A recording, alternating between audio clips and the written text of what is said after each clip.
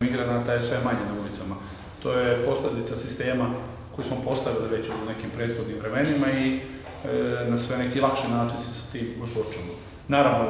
kao što znate, bilo je pojedinačnih incidenata, bilo bi e, u najmanju ruku ovaj, nekorektno reći da nije bilo incidenta, bilo je incidenta i tekako, ali ja opet napominjem, Ministarstvo unutrašnjih poslova je e, svaki put svoj posao odradilo do kraja. Nemoguće je ni na nekim najlepšim manifestacijama kada imate stotine hiljade ili možda čak milione ljudi na nekoj e, lokaciji da se neki incident ne dogodi. I na muzičkim festivalima imate incidente gde se često završava nekim neželjenim ishodima, pa prema tome ni ovo nije nešto mnogo drugačije. Svaki put do sada MUP je rešio problem, verovatno, kao što znate, u poslednjim danima, nedeljama, broj incidenata, kad je u pitanju Subotica je drastično smanjen, to zapravo i jeste rezultat svih prethodnih aktivnosti kad je u pitanju ministarstva unutrašnjih poslova i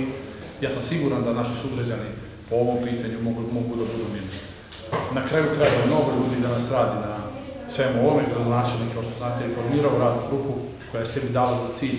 da je očuvanje bezbednosti, pored sprečavanja humanitarne krize, jedan od najvažnijih zadataka naših ustanova javnih preduzeća na kraju kraja lokalne samouprave koja se bavi ovim pitanjem. Kad je u pitanju nekakav e, rad na, na lokalnom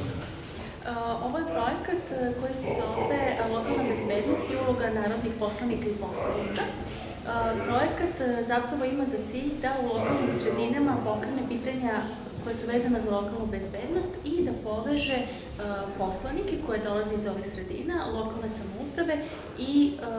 predstavnike civilnog društva. Mi smo već e, sprovodili jedan ovakav projekat i on je dao odlične rezultate zbog toga što se ispostavio da zapravo e, poslanici puno mogu da,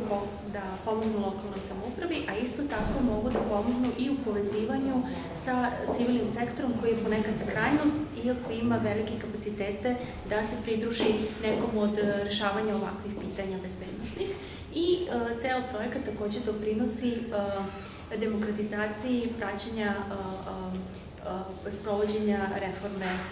sektora bezbednosti. Pa ovaj, na osnovu terenskog istraživanja koje smo sproveli u Subotici, došli smo do nekih inicijalnih rezultata koji ukazuju da migranti u Subotici zapravo ne predstavljaju pretnju bezbednosti, već bezbednostni izazov i to su posebno one grupe migranata koje nisu smeštene u tranzitnim i prihvatnim centrima. To su uglavnom muškarci samci i zbog toga lokalna zajednica njih tretira kao bezbednostni izazov To su ljudi koji najčešće ne mogu da se prehrane i ne mogu da održavaju ličnu higijenu, zbog toga često dolazi do upada u vikendice, u napuštene kuće. Međutim, lokalno stanovništvo ima razumevanja za ovakve ljude s obzirom na njihov težak položaj. ono što smo e, došli, došli smo i do rezultata da zapravo lokalna samouprava sprovodi određene bezbednostne mere, e, organizovali su radnu grupu koja se bave migrantima, kao i telo za, za upravljanje migrantskom krizom. E, takođe su uključene i brojne nevladine organizacije koje rade na ovom projektu. E, ono što mogu da kažem jeste da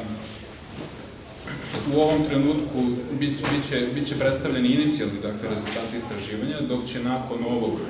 nakon ove panel diskusije i panel diskusije u drugim gradovima biti održana finalna konferencija u Beogradu, gde će biti predstavljena celokupna studija koja se bave problemima ljudske bezbednosti u tri grada, dakle u Subotici, gde su migranti, u Kraljevu rodno zastavno nasilje i u Novom pazaru bezbednost mladih.